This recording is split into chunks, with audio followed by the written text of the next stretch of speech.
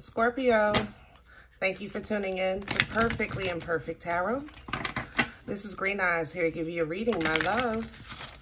Scorpio, Sun, Moon, Rising, Venus, Mars, Martians, astronauts. Pick a node. It does not matter to me. I love you all.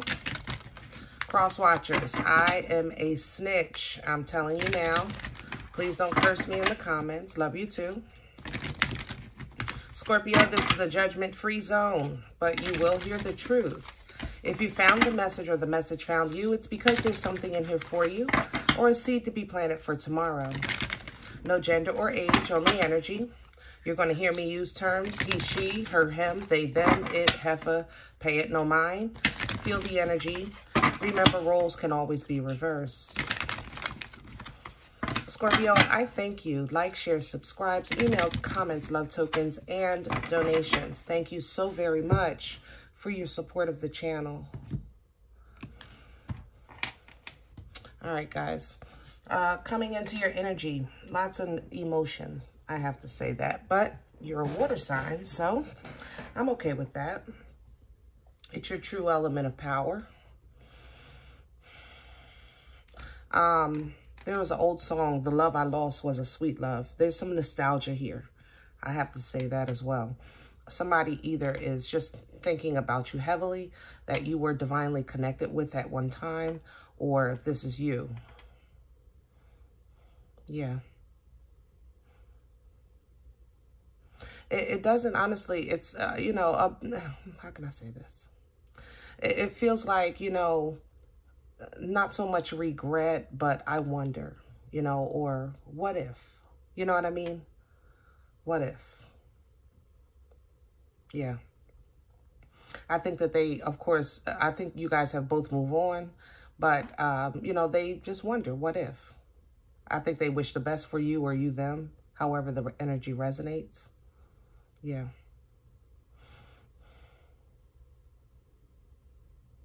Scorpio, I'm not, uh, you know, I, I, how can I say this? Um, there's a sense of isolation here. I have to, you know, let me see what's going on. There's definitely a sense of isolation. Um, maybe you're just in your own head, in your own thoughts, processing, figuring things out for yourself, you know, figuring things out. We're pulling from the uh, Divine uh, Animal Tarot. I'm sorry, Oracle. Scorpio, please. Divine Animal Oracle. Scorpio. Thank you. If you're new to my channel, welcome. I do read reversals, and I do not read from the floor. And we have a snow leopard, and we have a jackal uh, both in reverse. And we're going to definitely keep it like that. Now, no? Okay. Let's start here. Uh, the snow leopard in the upright is is a watcher kind of energy, you know. Um, it's taking the high road. It's observing, you know, um, staying small, you know, watching surroundings, you know. Again, I feel like you're just in your own thoughts, looking at your life, you know, observing, looking at the circumstances, people, places, and things, okay? Um, and with the jackal in the upright, excuse me, uh, we would be talking about, you know, some truth, living in your truth, being free in your truth. And it's coming in reverse because of that nostalgia, you know? It's like you, I think you're taking a look back of, of, on some things, or this is somebody that's heavily in your energy, taking a look back on you, um, and realize that they, you know, really didn't do what was in their heart. Okay. Now, what's coming in is a tarantula, the connection. so, um, you know, bringing things together, you know, uh, this is very manifestation, ma magical energy, um, putting the pieces in place. I wouldn't be surprised, Scorpio, if somebody reached out to you or you reached out to them from your past, okay? Uh, prosperity coming in behind that. So I definitely love that. Um, and this is by way of, you know, abundance in every sense of the word, uh, physically, mentally, spiritually. Uh, this also uh, could represent a new income, a new source of income coming in. Okay. So be obedient if uh, in your private prayers and meditation, when you're talking to God, all right, you're talking to the angels, you're talking to uh, your ancestors, your, you know, the holy and divine spirits that are on the other side, assisting us in our journey uh, through life. Be obedient because your obedience and accountability is what's going to activate this new prosperity. Okay. All right, let's do your spread. See what's going on. Maybe we can get some details. I'm liking the animals for you guys today. It feels good in your energy. So we're going to also do the animal um, tarot.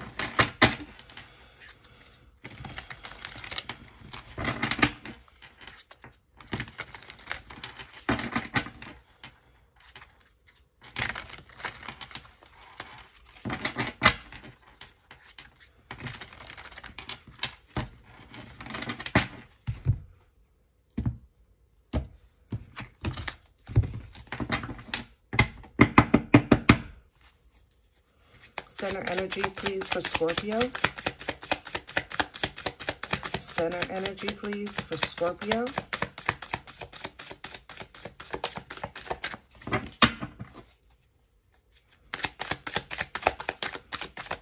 There we go. Ace of Swords. Here's the truth coming in. Yeah, there's a heavy issue with communication, and it's divine. This is literally, uh, like I said, I think in your private prayers and meditation, uh, you're getting and giving um, all truth, all truth from the Most High. So I cannot stress enough, this is a time of obedience for you. Now, granted, we've all been disobedient. This is just not one of those times. So if it's on your heart to make a call, make that call. To make a move, make that move. Um, you know, to whatever. If it's that it's just in your spirit to get up and I don't know, go to the store to play the lottery, then do it. If it's in you, it, you but uh, again, through God, not through your own understanding. Okay? But the Ace of Swords is divine communication, divine truth, as well as a, uh, the ability to cut ties. So this sword is given to you um, to assist you with communication, but also to assist you with breaking away free and clean from any type of hurt, harm, or danger to you spiritually, mentally, or physically that's keeping you bound. Okay? Crown the energy, please, for Scorpio. Crown the energy, please, for Scorpio.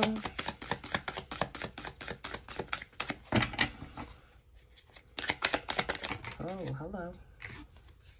All right, and there's the Six of Cups. So we have emotional stability and support, past life assistance. Like I said, guys, uh, you know, this communication is holy and divine. And the Six of Cups, understand that even though it falls you know, let's say 10 being complete bliss, so emotional bliss.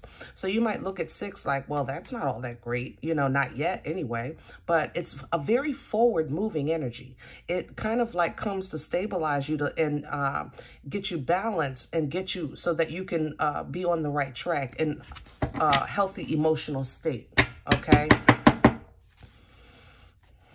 Yeah, um, definitely. Uh, uh, this connection is Wow. Um, I can't stress enough that whoever's manifesting you or you're manifesting or just connected to, you know, you might not even, you see, I, I haven't been thinking about this person. I don't know what you're talking about, but it doesn't take away from the fact that it is a truly divine connection, heavy past life energy. What's working against Scorpio right now? What's in the way? What's working? I'm hearing the tree of life. Wow, that might be you you love that the tree or they they love the tree the king of swords being honest with that communication is working against you. Scorpio this is you my love. I mean i can't say all of you but man is this heavy. Possible air sign too. Uh libra gemini aquarius here. Uh, it's in my mouth. Uh gemini is in my mouth. Yeah. Mm King of Swords, truthful communication, very intelligent energy, a very direct energy. Um, again, the ability to cut away, break away free from any hurt, harm, or danger that's hindering, you know, that's affecting your growth, development, or edification in your journey. And my loves, if this energy is working against you, that means that the lack of this strength in communication um, is hindering you know, that forward movement for things to come together and for you to start receiving uh, this new prosperity and abundance. What brought this on for Scorpio? Past energy, please. What brought this on for Scorpio? Past energy, please. You're not really, you know, you're really processing all of this within. You're not telling anybody. I feel like I'm whispering to you in your thoughts, if that makes sense. Past that, okay. And in the past, I have an Eight of Pentacles in reverse. So somebody didn't put the work in. They didn't do what was needed, required um, to have a successful, you know, to, to, you know, have a successful union. Uh, just period, point blank, you know. I, honestly, some of you, this is actual work. Uh, yeah, work related. Not how can I say that? Um, so this wouldn't be about a relationship. This would have been about a life path. If you're, you understand what I'm saying? Um, if you're completely like, for people that are completely in thought of changing their careers, like I don't know, from uh, cooking to medical, something completely different, you know, um, but the work wasn't put in. So now divinely you're being guided to get back to um, what was embedded in your spirit before.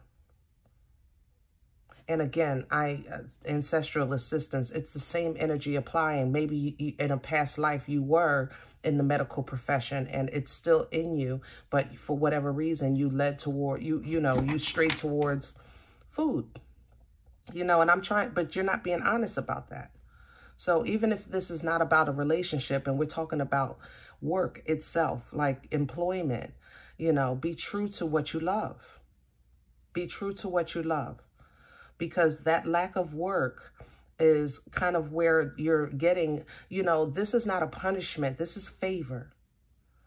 Okay? Because you went to God and you said, um, I need guidance. You know, I need help. And you're getting favor by getting that answer. God is a prayer answering God. And the answers that you're getting is, um, I'm uh, first of all, you have to speak your truth. That's kind of like how this is going to work.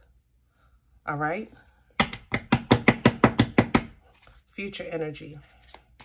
Where are we going with this for Scorpio? Where's this going? Possible outcome, please.